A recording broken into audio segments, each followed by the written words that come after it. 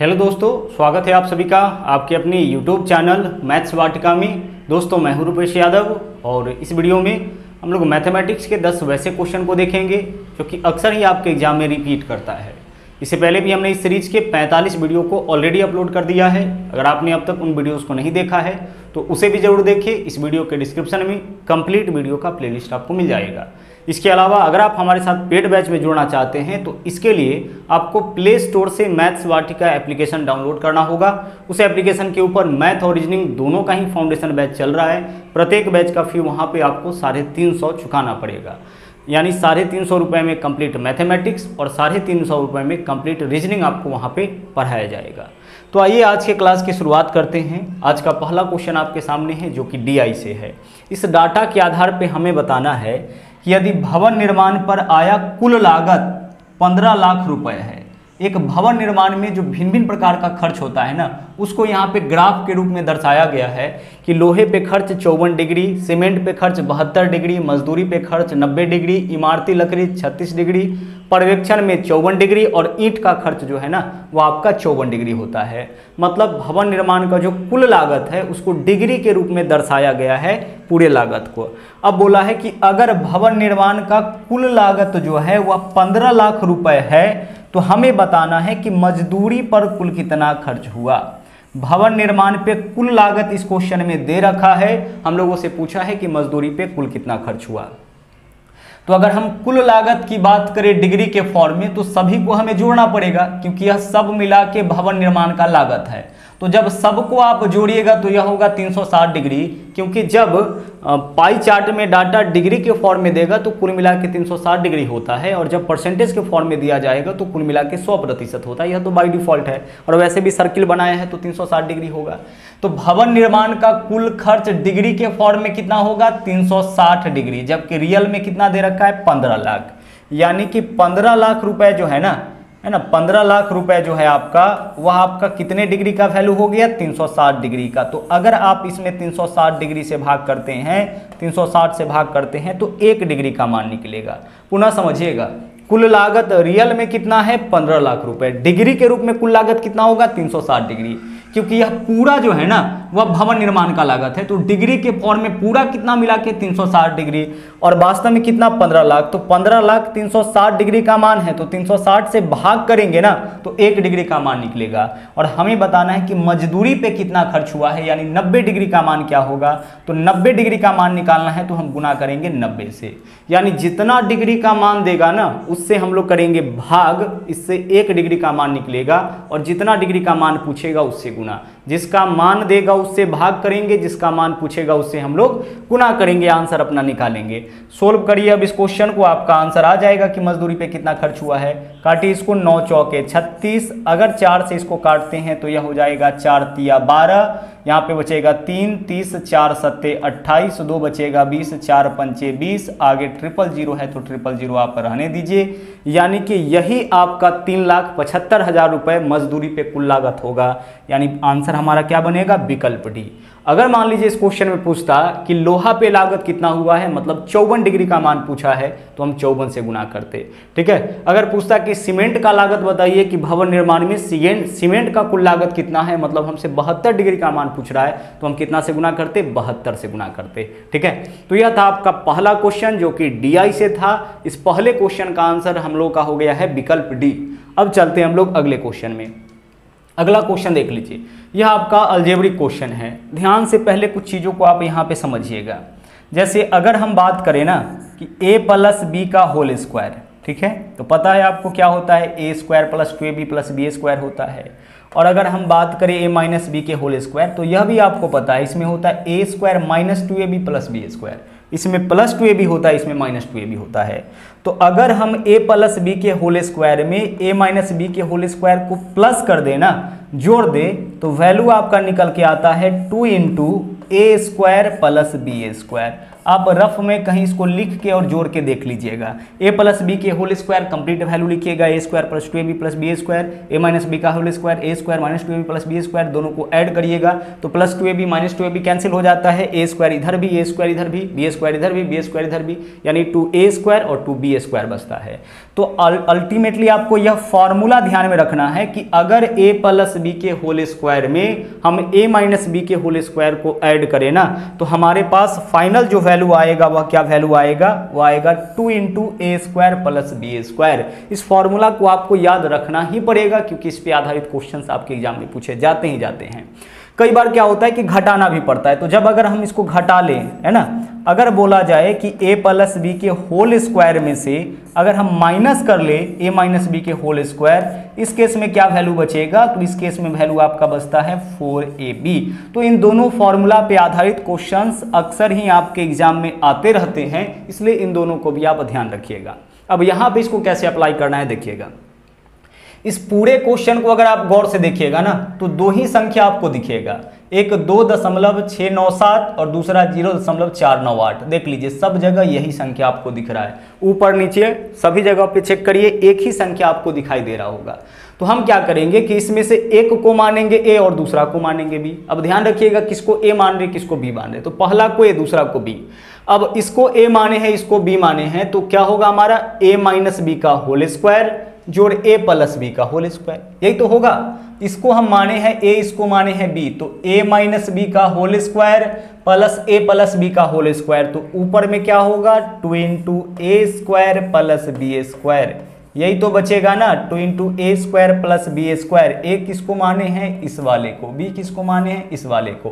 तो ए minus B के whole square में ए प्लस बी के होल स्क्वायर को ऐड करेंगे तो यही बचेगा two into A square plus B square अब इस वैल्यू को ए माने हैं तो ए गुने A A square plus B गुने बी बी स्क्वायर यानी नीचे में क्या वैल्यू बचा आपका? A square plus B square ठीक है? चलिए। है ना? इसके लिए ए लिखे तो ए स्क्वायर इसके लिए बी तो बी स्क्वायर नीचे में आपका बचा A square plus B square अब इससे यह वाला वैल्यू कट गया। केवल क्या बचा? दो, यानी आपके इस क्वेश्चन का आंसर क्या हो जाएगा? दो हो जाएगा। अगर मान लीजिए कि सोल्व करने के बाद ए बचता तो जो ए का वैल्यू होता, वह आंसर हो जाता। अगर सोल्व करने के बाद बी बचता तो बी का जो वैल्यू होता बी जिसको आप माने हैं, वह आपका आंसर हो जाता। लेकिन ए स्क्वायर बी स्क्वायर तो कट चुका है। केवल क्या बचा यहाँ पे? टू तो आपके इस सवाल का आंसर टू हो जाएगा। चलिए, बढ़ते हैं अगले क्वेश्चन में। अगला क्वेश्चन देख लीजिए ट्रिग्नोमेट्री से है। बोला है sine theta minus cos theta का मान सात बट्टा तेरह है तो साइन प्लस कॉस थीटा का मान क्या होगा? बहुत ही बेहतरीन क्वेश्चन है, देखिए।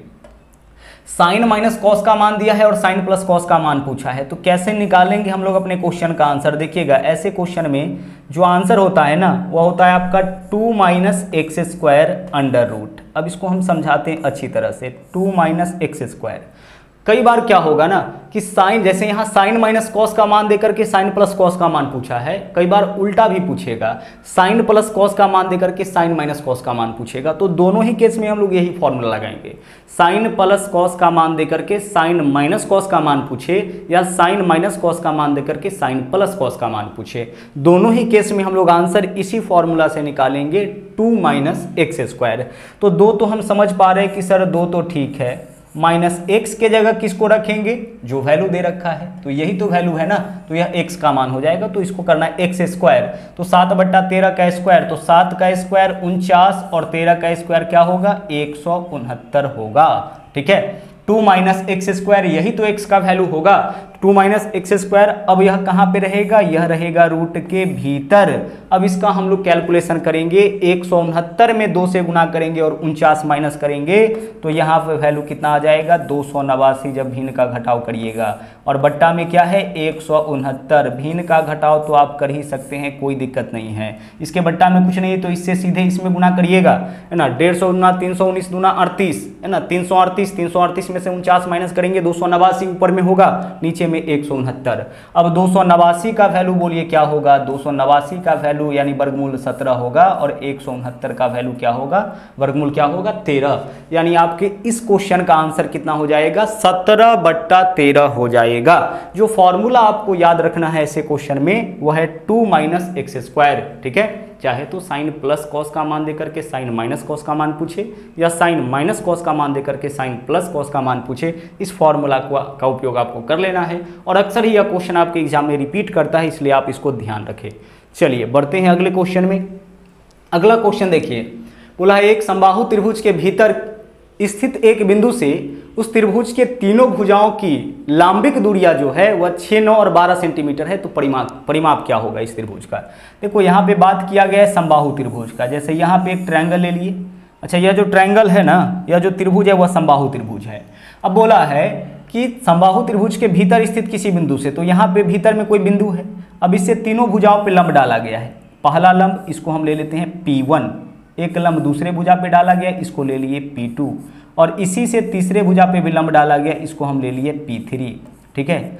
तो अगर किसी भी संबाहु त्रिभुज में, किसी भी संबाहु, प्रत्येक भुजा का मान तो बराबर होता है तो प्रत्येक भुजा का मान हम ले लिए ए यहाँ पे यह एक संबाहु त्रिभुज है जिसके प्रत्येक भुजा का माप ए लिए। भीतर स्थित किसी बिंदु से तीनों भुजा पे लंब डाला गया है जिसका लंबाई P1, P2, P3 लांबिक दूरी लांबिक दूरी यानी कि लंब डालने के बाद जो लंब की लंबाई होगा वही लंबिक दूरी होगा।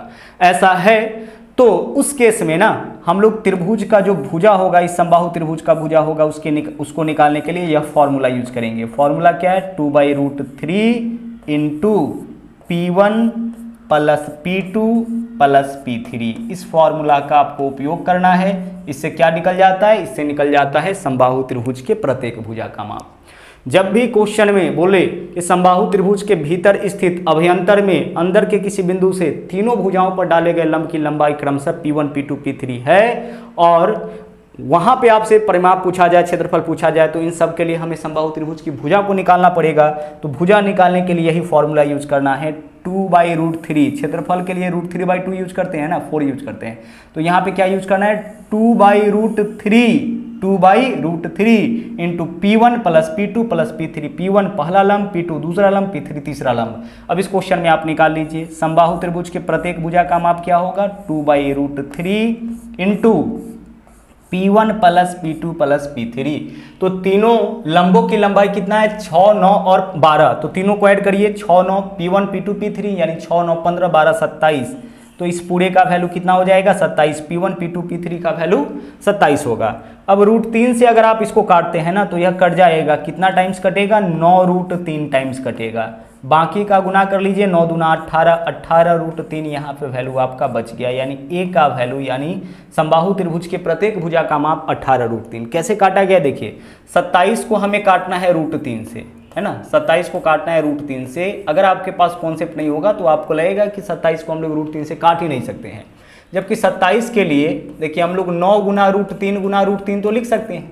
क्योंकि आप रूट तीन में रूट तीन से गुना करिएगा तो तीन तीन नमा सत्ताईस। बट्टा में रूट तीन है तो रहने दीजिए। इससे यह कैंसिल क्या बचा? नौ रूट तीन। यही चीज़ तो किए हैं। सत्ताईस के लिए नौ गुना रूट तीन गुना रूट तीन, एक रूट तीन से एक रूट तीन कैंसिल नौ रूट तीन बचा, नौ रूट तीन में दो से गुना अट्ठारह रूट तीन। यानी ए का वैल्यू आपका अट्ठारह रूट तीन आ गया। तो संबाहु त्रिभुज के प्रत्येक भुजा का माप अट्ठारह रूट तीन, है ना? इसका भी वैल्यू अट्ठारह रूट तीन, इसका भी वैल्यू अट्ठारह रूट तीन, इसका भी वैल्यू अट्ठारह रूट तीन। हमें क्या बताना है त्रिभुज का परिमाप? तो त्रिभुज का परिमाप क्या होगा? तीनों भुजाओं का लंबाई, और यहाँ तीनों भुजाओं का लंबाई बराबर होगा, यानी थ्री ए तो अट्ठारह रूट तीन गुना तीन, यानी कि चौवन रूट तीन आपका आंसर होगा। तीनों भुजाओं के लंबाई का योग ही तो परिमाप होता है। तो और यहाँ संबाहु त्रिभुज है तो संबाहु त्रिभुज का परिमाप तीनों भुजा का लंबाई बराबर होता है तो थ्री ए होता है। तो ए का मान अट्ठारह रूट तीन है तो अट्ठारह रूट तीन गुना तीन, यानी कि चौवन रूट तीन आपका आंसर हो जाएगा। तो मेन चीज़ जो आपको यहाँ पे ध्यान रखना है, वो यही चीज़ ध्यान रखना है कि जब भी संबाहु त्रिभुज के भीतर स्थित किसी बिंदु से तीनों भुजाओं पर लंब डाला जाए, उसकी लंबाई दे, उस केस में भुजा का माप कैसे निकालेंगे? A by root A by root three into P one plus P two plus P three चलिए, अगले क्वेश्चन में आ जाइए। अगला क्वेश्चन देखिए क्या बोला है। बोला है, एक वस्तु का लागत मूल्य आठ सौ रुपए है। लागत मूल्य आठ सौ रुपए है, यानी कि कॉस्ट प्राइस जो है ना, वो आपका आठ सौ रुपए है। उसे बेचते समय निर्धारित मूल्य पर 10 प्रतिशत का छूट दिया गया। ध्यान रखिएगा डिस्काउंट हमेशा अंकित मूल्य पे दिया जाता है। कभी भी क्रैमुल पे डिस्काउंट नहीं दिया जाता है। कोई भी दुकानदार जितना में वस्तु खरीद के लाता है उस कीमत पर कभी वो डिस्काउंट नहीं करता है। जो भी वो एमआरपी लगाता है, उसके ऊपर वह डिस्काउंट करता है। तो जब 10 प्रतिशत का छूट दिया गया निर्धारित मूल्य पर, यानी उसको अंकित मूल्य कह सकते हैं कि अंकित मूल्य पर जब 10 प्रतिशत का छूट दिया गया, फिर भी साढ़े बारह प्रतिशत का लाभ हुआ तो हमें इस क्वेश्चन में बताना है कि उस वस्तु का निर्धारित मूल्य क्या होगा। जो पूछता है उसको एक्स मानते हैं तो उस वस्तु का निर्धारित मूल्य हम मान लिए एक्स अब इस कीमत पर क्या किया गया है? दस प्रतिशत का छूट दिया गया है। तो दस प्रतिशत छूट के बाद इसका कीमत क्या हो जाएगा? इसके मूल कीमत के नब्बे प्रतिशत के बराबर, यानी नब्बे बट्टा सौ के बराबर। तो इसी कीमत पर वस्तु को बेचा गया होगा। निर्धारित कीमत के 90 प्रतिशत में ही वस्तु को बेचा गया होगा, क्योंकि 10 प्रतिशत के डिस्काउंट पर वस्तु को बेचा गया है निर्धारित कीमत के। तो 10 प्रतिशत छोड़ने का मतलब है कि वस्तु की कीमत के 90 प्रतिशत में बेचा गया होगा। तो यह क्या निकल गया है? विक्रय मूल्य निकल गया है। अब विक्रय मूल्य एक जगह से और निकालेंगे, जहाँ पे क्रय मूल्य दे रखा है। क्रय मूल्य कितना इस वस्तु का? आठ सौ है। अब आठ सौ में बेच, आठ सौ रुपया क्रयमूल है और इस पर साढ़े बारह परसेंट लाभ चाहिए। तो साढ़े बारह प्रतिशत का मान देखिए कितना होता है। साढ़े बारह प्रतिशत का मान आपका होता है एक बट्टा आठ, ठीक है? और लाभ के केस में होल वैल्यू हम लोग जोड़ के निकालते हैं। तो जोड़ लीजिए कितना हो जाएगा? आठ और एक नौ नौ बट्टा आठ। यह किसका वैल्यू है? साढ़े बारह प्रतिशत लाभ का होल वैल्यू नौ बट्टा आठ, ठीक है? पच्चीस प्रतिशत का मान एक बट्टा चार, पच्चीस प्रतिशत लाभ का होल वैल्यू क्या होगा? पाँच बट्टा चार होगा। साढ़े बारह परसेंट का मान निकालना है, हम ऐसे निकालेंगे बारह दशमलव पाँच प्रतिशत हटाएँगे बट्टा में सौ होगा, एक पॉइंट हटाएँगे, एक और ज़ीरो, एक सौ पच्चीस हटे एक हज़ार, एक बट्टा आठ ही तो हुआ ना? और वैसे भी साढ़े बारह परसेंट कॉमनली जो है वह आपके पेपर में आते रहता है। तो इस वजह से इसके वैल्यू को हम लोग याद रखेंगे। तो साढ़े बारह परसेंट का मान एक बट्टा आठ और एक बट्टा आठ का जो होल वैल्यू होगा वह नौ बट्टा आठ। अब इस होल वैल्यू का उपयोग कैसे करना है? तो क्रैमूल में होल वैल्यू का सीधा गुना करिएगा विक्रैमूल हो जाएगा। जितना प्रतिशत लाभ यहाँ नहीं होगा, उसके होल वैल्यू से सीधा गुना करने पर विक्रैमूल तो यह भी विक्रैमूल है ना? और अंकित मूल्य पर, निर्धारित मूल्य पर डिस्काउंट करने के बाद जो कीमत होगा, वह भी विक्रैमूल है। ताकि दोनों विक्रैमूल है, इसलिए दोनों आपस में क्या है? बराबर है। ठीक है? निर्धारित कीमत के 10 परसेंट छूट पर बेचा गया तो निर्धारित में 10 परसेंट डिस्काउंट करेंगे तो यह विक्रयमूल होगा। और क्रैमूल पर साढ़े बारह परसेंट का लाभ तो क्रैमूल से विक्रयमूल, यह भी आपका विक्रयमूल है। दोनों विक्रयमूल इसलिए आपस में बराबर। अब सोल्व करिए। देखिएगा, यहाँ पे अगर हम इसको सोल्व करें, एक ज़ीरो से तो पहले एक ज़ीरो काटिए, नौ से नौ कैंसिल होगा, आठ से काटेंगे, यहाँ पे कितना हो जाएगा? सौ हो जाएगा। और इधर क्या बचा? एक्स क्रॉस मल्टीप्लीकेशन 10 से 100 में गुना करिएगा, यह वैल्यू क्या हो जाएगा आपका? एक हज़ार हो जाएगा। एक हज़ार रुपये क्या माने थे हम लोग? वस्तु का निर्धारित कीमत माने थे, यानी कि अंकित मूल्य माने थे। तो आंसर हमारा इस क्वेश्चन का ना, विकल्प एक हो जाएगा। चलिए, बढ़ते हैं आगे। अगला क्वेश्चन देखिए क्या है। Tan theta plus cot theta बटा tan theta minus cot theta का मान दे रखा है दो। हमें बताना है साइन थीटा का वैल्यू क्या होगा? ध्यान से समझिएगा। एक मेथड हम लोगों को जानना है जो बहुत ही उपयोगी है, वह मेथड है कंपोनेंडो एंड डिविडेंडो ठीक है? ध्यान से समझिएगा कंपोनेंडो और डिविडेंडो मेथड क्या होता है। जैसे मान लीजिए क्वेश्चन में कभी ऐसे लिखा रहे एक्स प्लस वाई का वैल्यू है आठ बट्टा तीन, ठीक है? अब अगर हम कंपोनेंडो और डिविडेंडो अप्लाई करें कंपोनेंडो और डिविडेंडो जब भी अप्लाई होगा, दोनों तरफ़ अप्लाई होगा। तो अप्लाई करें तो उस केस में क्या होगा कि नीचे वाला वैल्यू को एक बार ऊपर में जोड़ लीजिए तो एक्स प्लस वाई और एक बार घटा लीजिए एक्स माइनस वाई जोड़ के ऊपर लिखिए, घटा के नीचे लिखिए। वही काम इस तरह भी करिए। जोड़ के ऊपर तो आठ और तीन ग्यारह, घटा के नीचे आठ में से तीन माइनस करिए पाँच। यह हो गया इसका कंपोनेंडो और डिविडेंडो यानी कंपोनेंडो और डिविडेंडो में क्या करते हैं? नीचे वाला को एक बार जोड़ के ऊपर लिखते हैं, घटा के नीचे लिखते हैं। जो काम एलएचएस में करते हैं, वही आरएचएस में करते हैं। वापस इसका अगर आप कंपोनेंडो और डिविडेंडो करिएगा ना तो फिर से यह कितना आ जाएगा? फिर से यह एक्स बट्टा वाई आ जाएगा। करके देख लीजिए। एक्स प्लस वाई में जोड़िए। क्या जोड़ेंगे? X minus Y. तो जोड़ेंगे minus minus cancel, X plus X बचा। और घटाइए, एक्स प्लस वाई में से जिसको घटाइएगा उसका चिन्ह बदलेगा। माइनस एक्स प्लस वाई, यही तो होगा। इससे यह कट गया। ऊपर में एक्स और एक्स क्या बचा? Two X. वाई और वाई क्या बचा? Two Y. इससे यह कैंसिल क्या बचा? एक्स प्लस वाई बचा। तो x प्लस वाई बट्टा एक्स माइनस वाई का कंपोनेंडो और डिविडेंडो होगा x बट्टा वाई। ठीक है? x बट्टा वाई का कंपोनेंडो डिविडेंडो होगा x प्लस वाई बट्टा एक्स माइनस वाई। चलिए, अब हम लोग यहाँ पे आ जाते हैं। इधर हम लोग कंपोनेंडो और डिविडेंडो अप्लाई करते हैं। इस दो के बट्टा में कुछ नहीं है तो क्या होगा? एक होगा। अब इसका कंपोनेंडो और डिविडेंडो देखिए क्या होगा। टेन प्लस कॉट है ना? तो इसका कंपोनेंडो होगा टेन थीटा बट्टा कॉट थीटा टेन थीटा बट्टा कॉट थीटा अब इधर आप कंपोनेंटो डिविडेंडो करिए, एक बार ऐड करिए तो दो और एक तीन, एक बार घटाइए, दो में से एक माइनस करिएगा, एक। यही इसका कंपोनेंडो और डिविडेंडो होगा। हम लोग क्या मेथड अप्लाई किए यहाँ पे? कंपोनेंडो एंड डिविडेंडो अप्लाई किए हैं, ठीक है? देख के पता चल रहा है एक्स प्लस वाई बट्टा एक्स माइनस वाई का कंपोनेंडो डिविडेंडो क्या होगा? एक्स बट्टा वाई तो उसी तरह से टेन प्लस कॉट बट्टा टेन माइनस कॉट का कंपोनेंडो डिविडेंडो क्या होगा? टेन बट्टा कॉट अब वही चीज़ इधर, नीचे वाले के ऊपर में ऐड करिए, दो और एक तीन, घटा के नीचे लिखिए, तीन हो गया। अब टेन थीटा बट्टा कॉट थीटा यह कितना हो जाएगा? देख लीजिए। इसको अगर हम ऊपर लिखते हैं ना, देखिए कॉ थीटा तो कॉ थीटा के लिए इसको अगर हम यहाँ से हटाते हैं तो ऊपर में यह टेन थीटा हो जाएगा। है ना? होगा ना?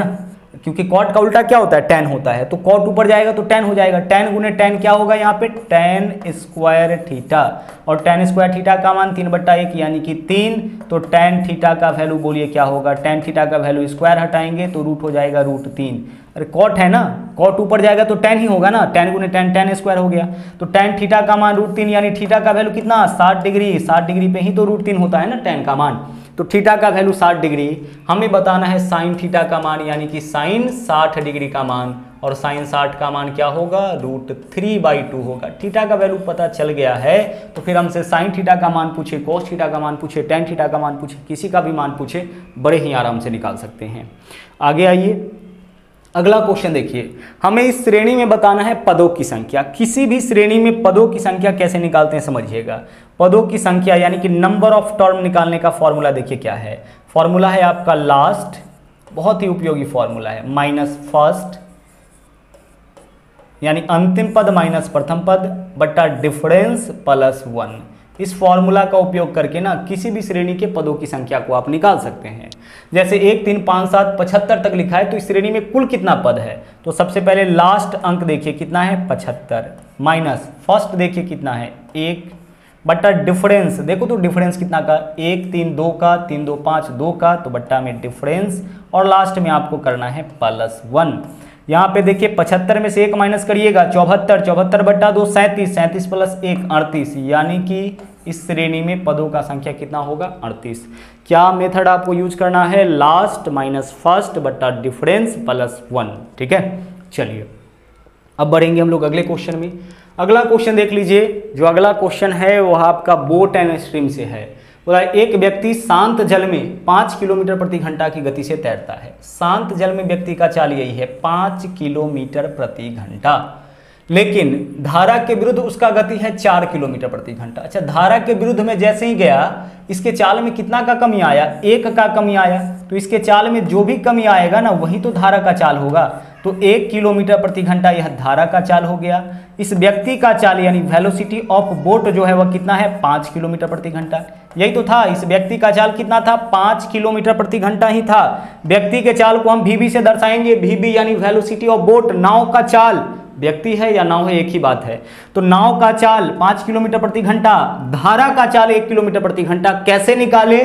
तो नाव का चाल पाँच किलोमीटर प्रति घंटा था, लेकिन धारा के विरुद्ध में जाने पर उसका चाल चार किलोमीटर प्रति घंटा हो गया। तो जितना का चाल में कमी आएगा, वही धारा का चाल होगा। धारा जितना रुकावट पैदा करेगा, वही तो धारा का चाल होगा। तो धारा का चाल एक किलोमीटर प्रति घंटा। अब अगर नाव धारा के दिशा में चले तो उसका चाल क्या होगा? पाँच और एक छह किलोमीटर प्रति घंटा, क्योंकि धारा के साथ चलेगा ना तो नाव के चाल में उतना का ही वृद्धि होगा जितना धारा का चाल होगा, ठीक है? तो धारा की दिशा में नाव का चाल पाँच और एक छः किलोमीटर प्रति घंटा। अब क्वेश्चन देखिए क्या पूछा है? तो उसे किसी निश्चित स्थान से प्रवाह की दिशा में सौ मीटर की दूरी तय करने में क्या समय लगेगा? देखो, सौ मीटर की दूरी तो तय करना है है ना? दूरी कितना तय करना है? 100 मीटर की दूरी तय करना है। क्या समय लगेगा? तो समय बराबर दूरी बट्टा चाल होगा। लेकिन यहाँ चाल कौन सा होगा? तो यह दूरी जो हमें तय करवानी है ना, वह धारा के दिशा में। तो धारा के दिशा में चाल कितना? पाँच और एक छः छः किलोमीटर प्रति घंटा है। इसमें पाँच बट्टा अट्ठारह से आप गुना कर लीजिए ताकि यह मीटर पर सेकेंड में कन्वर्ट हो जाए। यह टाइम एंड डिस्टेंस का रूल है कि जब भी ऊपर में जो डाटा है, वह मीटर के फॉर्म में रहे तो अगर चार किलोमीटर प्रति घंटा के फॉर्म में रहे तो उसमें पाँच बटा अठारह से गुना करिए, वह आपका मीटर पर सेकेंड में कन्वर्ट हो जाएगा। अब यहाँ देख लीजिए, मीटर से मीटर कैंसिल छः तिरिक अट्ठारह हो गया। पाँच से काटेंगे, यह आपका बीस हो जाएगा। देखिए, बट्टा के नीचे बट्टा में तीन है तो तीन ऊपर जाके बीस में गुना बीस दिया साठ होगा। बट्टा के नीचे, बट्टा में सेकेंड है तो सेकेंड ऊपर जाएगा, यानी 60 सेकेंड आपका आंसर होगा। ऑप्शन देखिए 60 सेकेंड यानी कि एक मिनट तो आंसर आपका इस क्वेश्चन का क्या होगा? एक मिनट हो जाएगा। ठीक है? आगे बढ़िए। अगले क्वेश्चन में आते हैं। अगला देख लीजिए क्वेश्चन क्या है। किसी राशि का साधारण ब्याज मूलधन का चार बट्टा नौ। ब्याज देखिए कितना दे रखा है? चार बट्टा नौ। अच्छा ब्याज भिन्न के रूप में दिया है। तो कोई भी चीज़ अगर भिन्न के रूप में रहे ना, उसमें अगर आप 100 से गुना करते हैं तो वह आपका प्रतिशत में कन्वर्ट हो जाता है। तो जैसे ही इसमें हम लोग 100 से गुना किए, ब्याज आपका प्रतिशत में कन्वर्ट हो गया, चार बट्टा नौ में 100 से गुना करेंगे, यह आपका परसेंटेज ब्याज बन गया, कि कोई भी चीज़ आपका भिन्न के फॉर्म में रहता है ना, जब आप उसमें सौ से गुना करते हैं तो वह आपका प्रतिशत के रूप में कन्वर्ट हो जाता है। ठीक है? किसी भी भिन्न में सौ से गुना करने पर प्रतिशत में कन्वर्ट हो जाता है। तो ब्याज में अगर हम सौ से गुना करेंगे तो ब्याज भी आपका प्रतिशत में कन्वर्ट हो जाएगा। तो इतना प्रतिशत ब्याज हो गया। अब आगे, ब्याज पर दिए जाने वाले मूलधन के अवधि के वर्ष, ब्याज की वार्षिक दर के बराबर। मूलधन के अवधि के वर्ष यानी कि टाइम और रेट जो है ना, वह आपस में बराबर है। अगर टाइम हमारा एक वर्ष है टाइम अगर x वर्ष है तो रेट भी क्या होगा? X प्रतिशत होगा। यही इस क्वेश्चन में बोला है कि ब्याज पर दिए जाने वाले मूलधन के अवधि के वर्ष ब्याज की वार्षिक दर के बराबर, यानी रेट बराबर इस क्वेश्चन में टाइम दिया है। और एक चीज़ और आपको याद दिला दे कि परसेंटेज ब्याज बराबर होता है रेट गुने टाइम तो रेट आपका एक्स है टाइम एक्स है एक्स में एक्स से गुना करिएगा तो एक्स स्क्वायर प्रतिशत यहाँ से एक परसेंटेज ब्याज निकला और एक परसेंटेज ब्याज हम लोग पहले से निकाले हुए थे। दोनों परसेंटेज ब्याज है, इसलिए दोनों आपस में बराबर होगा। परसेंटेज ब्याज बराबर रेट गुना टाइम होता है। यहाँ भी प्रतिशत, यहाँ भी प्रतिशत कैंसिल आउट करिए। एक्स का वैल्यू क्या होगा?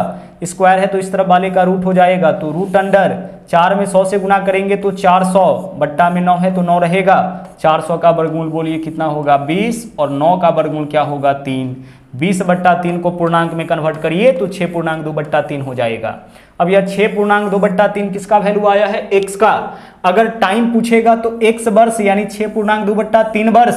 और अगर रेट पूछेगा तो एक्स प्रतिशत, यानी छः पूर्णांक दो बट्टा तीन प्रतिशत। पूछा क्या गया है? ब्याज की वार्षिक दर क्या होगी?